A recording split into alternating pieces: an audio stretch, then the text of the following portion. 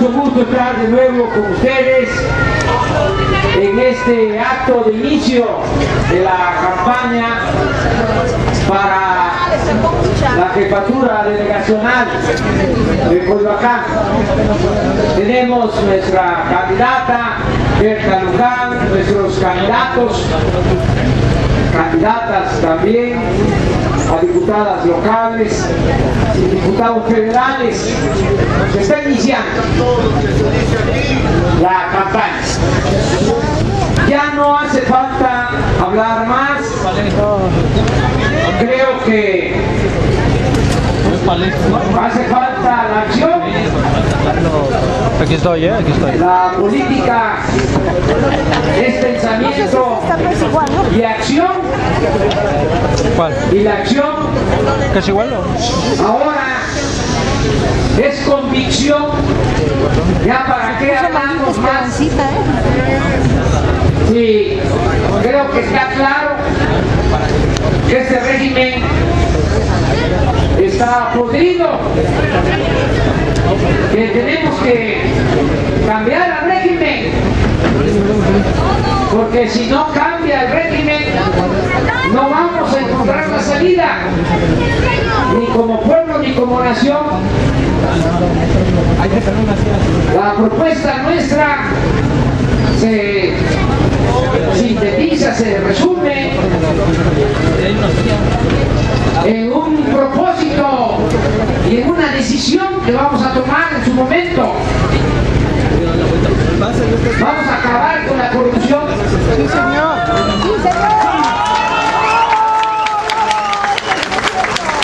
Les puede parecer muy superficial, pero no. Ese es el principal problema de México. Sí.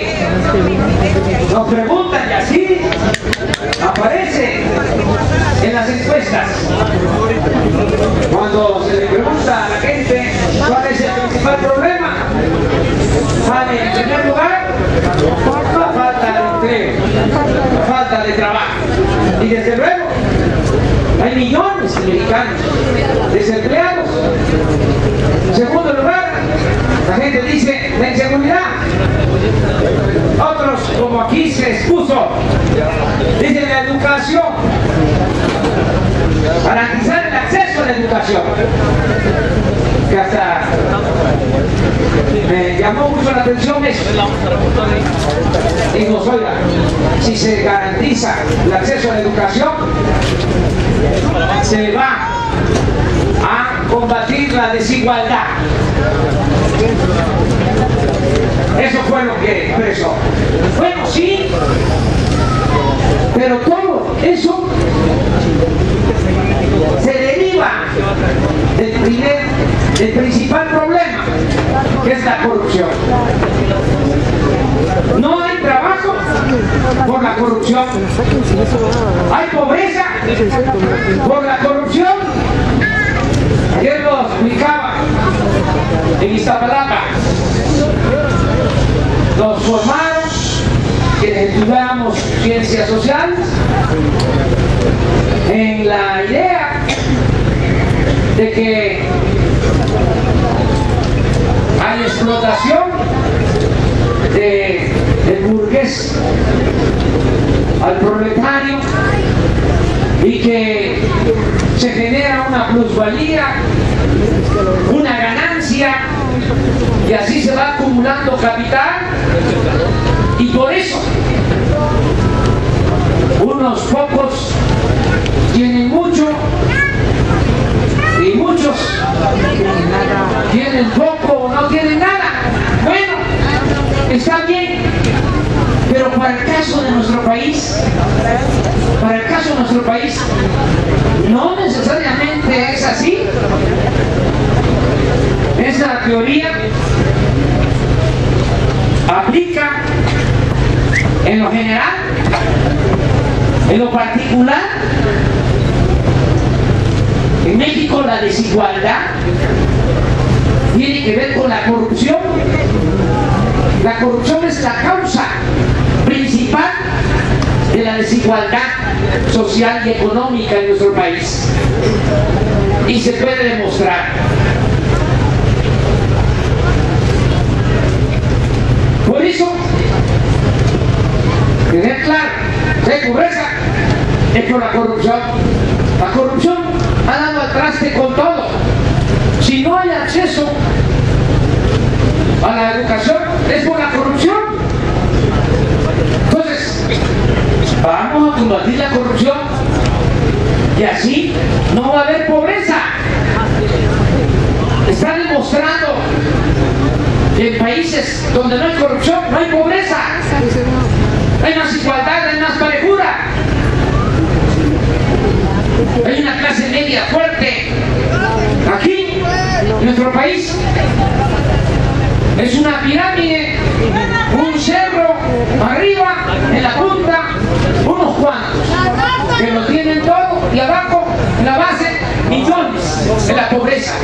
Y los que están arriba, ¡Esa élite! esa élite, no todos, porque no se puede generalizar, pero sí la mayoría de esa élite ha obtenido esa riqueza, amasado esas grandes fortunas al amparo del poder público y por la corrupción.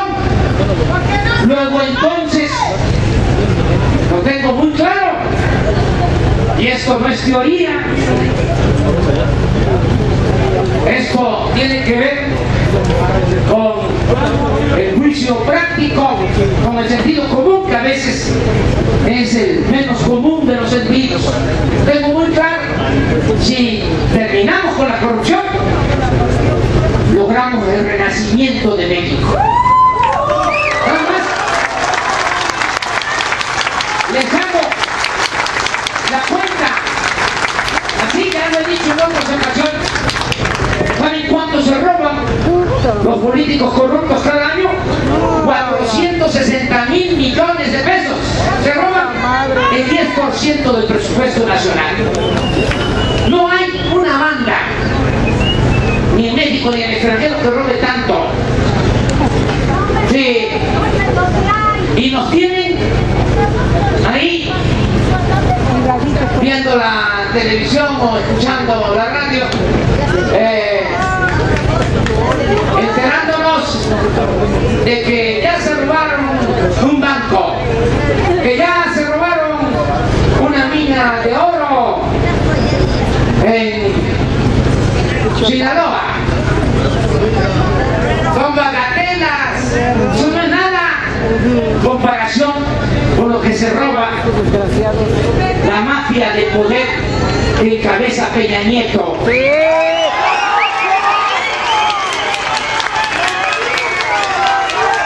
Por eso, tengan confianza. o no se va a poder acabar con la corrupción. Claro que sí, la corrupción se da de arriba para abajo, no de abajo para arriba. Abajo, todavía, en nuestras comunidades, en nuestros pueblos, en nuestras colonias, en nuestros barrios, en nuestras familias, hay muchos valores culturales, morales, espirituales. Hay valores para regenerar desde abajo la vida pública. ¿Qué no vamos a poder hacer un acuerdo general? Un pacto, pero no con los corruptos, sino con todo el pueblo, para establecer en México, para fortalecer en México el hábito de la honestidad. Y así sacamos adelante el país. Si evitamos que se roben esos 460 mil millones, pues no haría falta aumentar los impuestos ni endeudar al país. Habría dinero para financiar el desarrollo. Pero no quiero profundizar más sobre el tema. Solo decirles, tengan confianza. Si enfrentamos ese problema y tenemos la forma de hacerlo, vamos a lograr el renacimiento de México. Aunque se está generando en destruir al país, en dejarnos escombros, cuando triunfe nuestro movimiento, al terminar la corrupción, vamos a sacar a nuestro pueblo de la postración, de la pobreza, de la marginación en que se encuentra. Y les decía, vamos a limpiar gobierno de corrupción de arriba para abajo, como se limpian las escaleras. Si el presidente es corrupto, los gobernadores que ser corruptos. Si los gobernadores son corruptos, todos los presidentes municipales son corruptos. Pero si arriba se el ejemplo y no se permite la corrupción, que nadie se robe el dinero del pueblo y que ese dinero se destine al desarrollo y al bienestar del pueblo, claro que salimos adelante a mejorar las condiciones de vida y de trabajo, no poco, Eso lo tengo muy claro. Imagínense, soy dirigente de un movimiento, si no supiera cómo hacerle, si no tuviese la fórmula, pues estaría yo mal, sería una gran irresponsabilidad. Esto lo he pensado durante años, lo he analizado, lo he reflexionado, lo he cavilado. Por eso estoy seguro, absolutamente seguro, de que vamos a sacar adelante a nuestro país. Bueno, solo les pido, que dije que no iba a hablar mucho, ya me estoy extendiendo. ¡Para 2018! Solo les pido que nos ayuden eh, a informar y orientar a la gente, que todos trabajemos para seguir despertando a los ciudadanos, que tengamos muy presente, y es también sencillo de explicar y de comprender, no se derrumba este régimen corrupto a pesar de todo el daño que causa, porque tienen dos pilares que lo sostienen, dos muros. Un muro que sostiene este régimen es el casi absoluto de los medios de información. Es una dictadura y no exagero. Tampoco eh, quiero decir que es una dictadura, no. Es una dictadura por completo, por entero. Esto a lo mejor los académicos y los intelectuales no lo van a compartir, no me importa. Es una dictadura. ¿Por qué? Lo puedo probar porque no se garantiza en México el derecho a la información. Miren, ayer iniciamos campaña en Iztapalapa. Habían más de 10.000 ciudadanos. Bueno, les pregunté, porque hace 20 días, un mes, dio a conocer la revista Proceso de que el subsecretario de la Sedesol, el encargado de los programas para combatir el hambre y la pobreza, porta un reloj que vale 3 millones de pesos. Ernesto Neve, que fue secretario privado de Chauffé, secretario de gobierno de Peña. Bueno, les pregunté, en honor a la verdad, a los 10.000 que estaban ahí, ciudadanos, de la gente más informada, no solo del Distrito Federal, de México. Les dije, a ver, en honor a la verdad, levanten la mano los que lo sabían. 20. Dije, a ver, volteen, a ver. Y a los medios. les dije a los camarógrafos, como se dice técnicamente, paní, que levanten la mano los que no lo sabían, todos. Así nos tienen. Y Vamos a pagar la televisión bueno, hay también la creencia de que ahora que se tiene acceso al internet, ya con eso, no. Sí, son importantes las redes sociales, pero es muy poca la cobertura. Sí, miren, les conviene. a nivel general, y es que esto lo podemos debatir, que ese es un problema de fondo. Son cinco espacios independientes que han ya censuraron a Carmen Aristegui. Era un espacio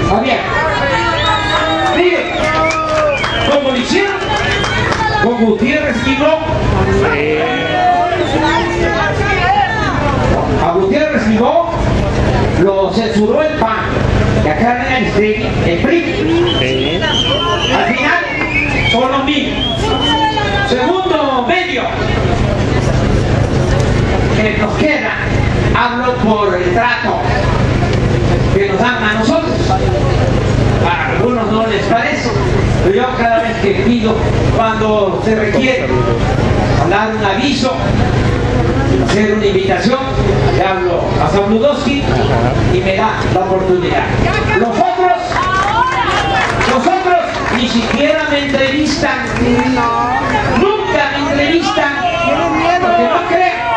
Bueno, rectifico, sí me entrevistan los días. Ahorita bajando me van a preguntar. No sacan nada.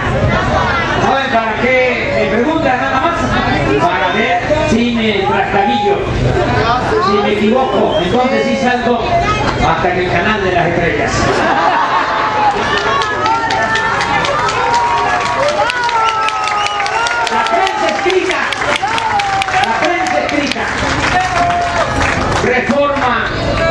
Es un periódico de centro derecha, es un periódico profesional que informa con objetividad y que no depende de la mafia del poder.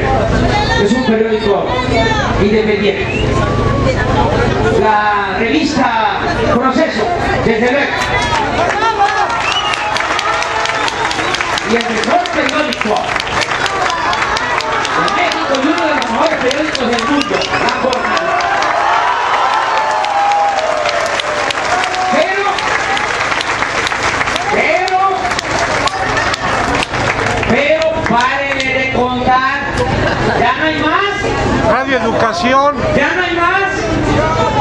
Bueno, y tengan presente que la cobertura de estos cinco espacios es del 2%.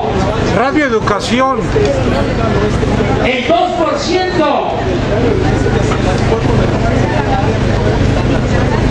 Todavía el 85% de los mexicanos se entera de las noticias por la televisión. Entonces, esto lo tenemos que tener muy presente y hacer todos labor de información, pero no nada más desde el internet, sobre todo en el caso de nuestros candidatos dirigentes, hay que ir casa por casa, si no, la gente no va a tener información aquí que colocar.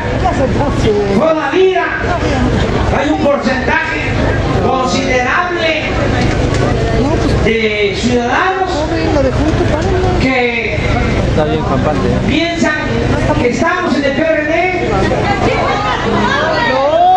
Sí, pero no se trata de inventar madre, se trata de ir a decirles casa por casa, ¿para qué vamos a estar gritando nada más?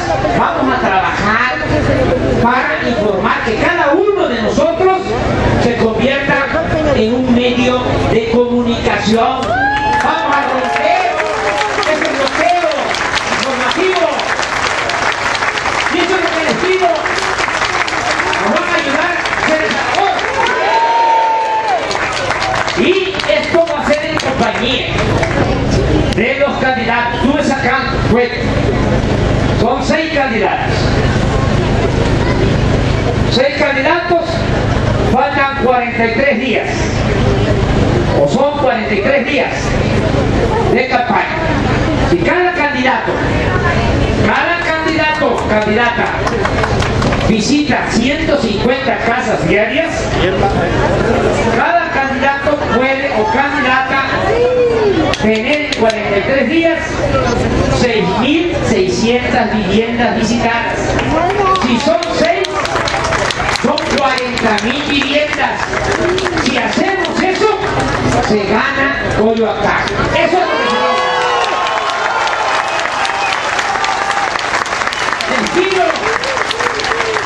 terminando el acto, una reunión. Los seis candidatos. Pónganse de acuerdo con los planos de toda la delegación. ¿Quién se va a hacer cargo? ¿De qué colonias? Pero se tiene que cumplir. Nada de mandar la brigada en nombre de ustedes. Y ustedes personalmente.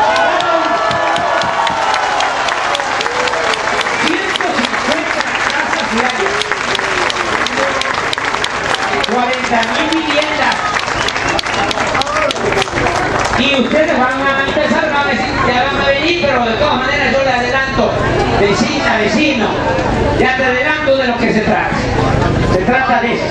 Y hay que informar que ya no estamos en el PRD, que nos salimos de ese partido porque traicionaron al pueblo de México firmaron el llamado pacto por México, que no es más que pacto contra México, y por eso pintamos nuestra raya y estamos en Morena, Movimiento de Regeneración Nacional. Eso es lo que decimos.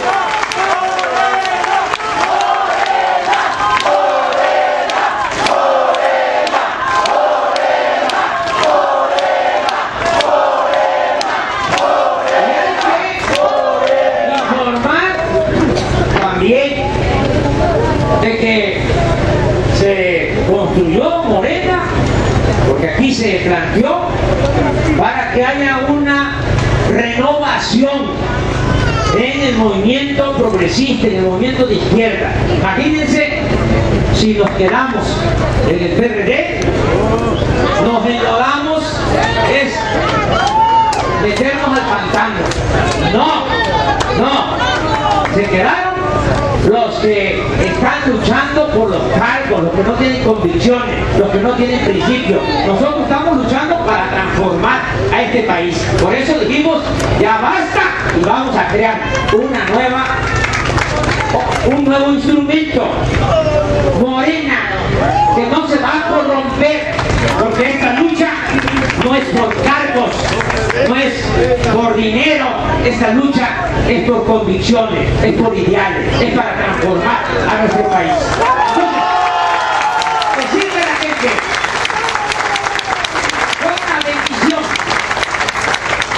Miren, yo aguanté bastante, uno me lo reclama porque se tardaron tanto, porque buscábamos que la unidad sobre todo en las circunstancias del 2012, pues todos juntos lográramos el triunfo y aguantamos. Y tuve que hacer cosas que la verdad ahora me avergüenza. Tuve hasta que levantarle la mano a algunos candidatos. Bueno, todo tenía su tiempo. Pasaron esas elecciones. Ellos eh, que ya también querían eh, desligarse de nosotros porque éramos pues un obstáculo para que ellos eh, se dedicaran por entero a hacer negocios y a corromperse. Entonces, eh, pensaron que también ya era el momento de que se diera una separación y fue bueno, fue muy bueno, porque aquí en el caso del Distrito Federal, jefes delegacionales, corruptos, eh, todos los vicios que hemos combatido siempre, nepotismo. Ayer fui a Gustavo Amadero en el camino, en Venustiano Carranza, las mantas. Un señor moreno que va a ser candidato del PRD, hermano del que ya fue candidato. Llego a Iztacalco, sí, el esposo de la delegada, candidato. Y ella también candidata. En Gustavo Amadero, también el esposo de la delegada, candidato. Y ella, candidata. Vengo ahora de Álvaro Obregón, también de un ciudadano de apellido Luna, que es y todo, él y toda su familia manejando. Y aquí, Coyoacán, lo mismo, una gran corrupción, desde hasta para la administración de los baños públicos. Gran corrupción. No, al carajo con eso, nosotros no queremos nada de eso.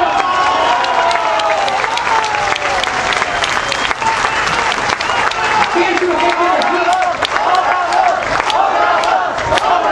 Ya se le está pasando el tiempo. Nada más me faltan dos cosas que decir. Vaya termino.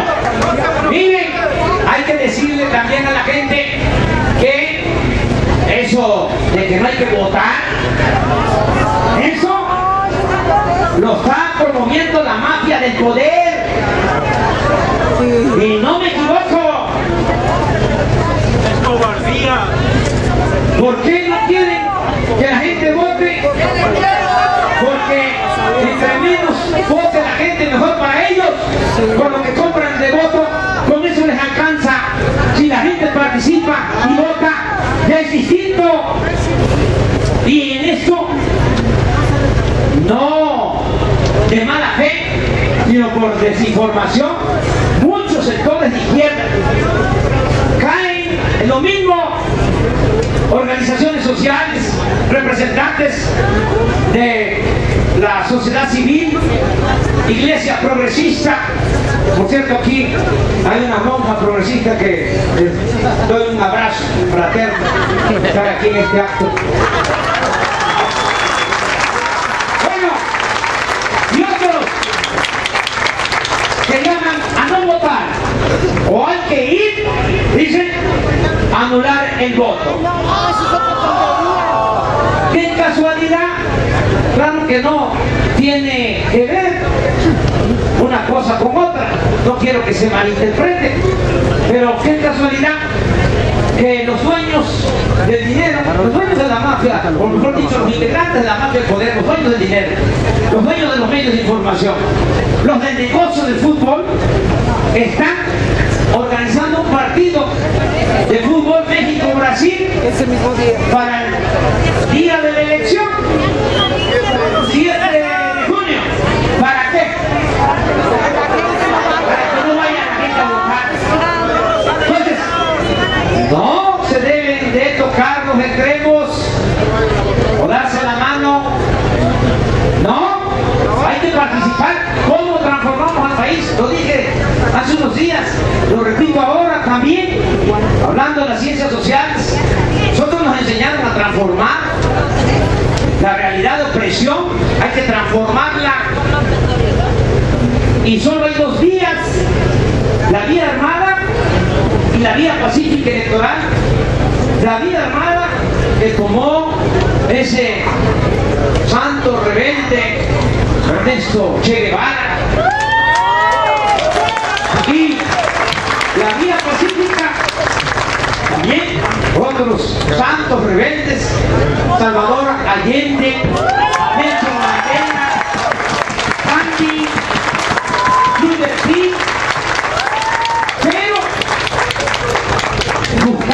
Reformar no estar nada más administrando el conflicto, administrar la pobreza de la gente. No, hay que participar en un sentido o en otro. No quedarnos sin hacer nada en el limbo. Nosotros ya escogimos la vía pacífica, la vía electoral. Claro que hay que participar. Hay que decirle a la gente que hay que salir a votar. Y termino, lo último es decirles, bueno, por ahora, de que nos ayuden porque ¿qué les va a quedar a esta mafia, a los de arriba y a los pequeños mafiosos? Pues apostar a comprar el voto. Porque ni modo que de manera libre, voluntaria, vaya la gente a votar por ellos. No, va a ser a billetazos, va a ser con dinero, eso que decía Berta, las tarjetas, los tinacos, Las cobijas. las cobijas, las despensas, la televisión. Cemento. Bueno, hay que decirle a la gente ya,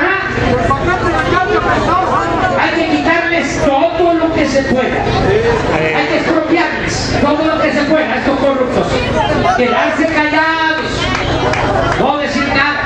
Yo recordaba eh, Morelos que cuando Huerta fue a combatir a Zapata a los pueblos de Morelos, llegaba y reunía a la gente y les preguntaba la plaza, ¿ustedes con quién están?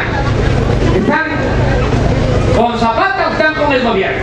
Y los campesinos indígenas, leales, como siempre, decían, con Zapata.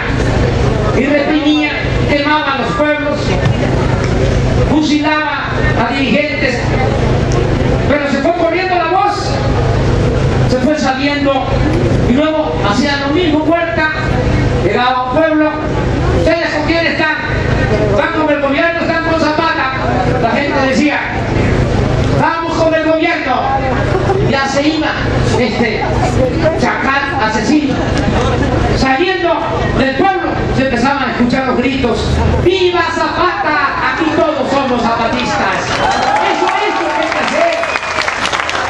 Quedarse callados, quitarles todo lo que se pueda. Oye, te voy a apuntar en la lista. Vas a tener tu tarjeta electrónica, vas a tener tu tinaco por el agua. No te va a faltar el agua. Va a venir la pipa. Vas a tener todos los programas sociales, no te vamos a quitar ningún programa social. Pero vamos a contar con tu voto. Sí. Y con el voto de tu familia también.